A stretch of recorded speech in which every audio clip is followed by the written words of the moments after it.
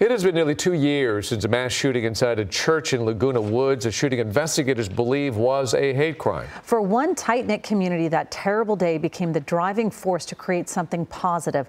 Orange County reporter David Gonzalez shows us how. It suddenly feels like angels are singing and peace is possible. 300 strangers living in Laguna Woods Village, a community for people 55 and older, have come together to spread a simple message love your neighbor. And it's all one family. It's, this is our family, this is our home, this is our neighborhood. And that's what's so magic about it. It's magic. Community Bridge Builders was born after a tragedy rocked their city. Those things that you cannot say just in words, when you put music, it changes everything. In May 2022, a gunman walked into Geneva Presbyterian Church and opened fire on Taiwanese parishioners, killing one and injuring five others.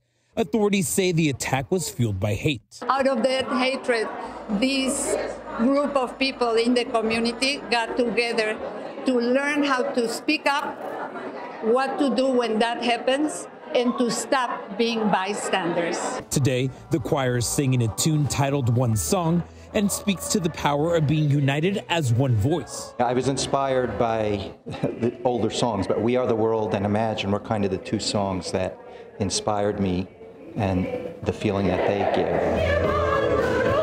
The song is also sang in different languages, including Spanish and Korean. And music's an inter international language, so we can say this in 10 different languages, play the notes for 10 different languages, it comes out the same. The group believes the song's simple message connects people in their community who may otherwise not have an opportunity to come together.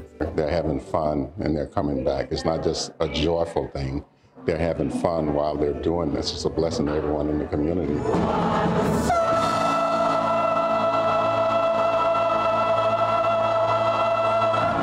Community Bridge Builders hopes their choir inspires others to translate their message of unity into their communities one song at a time.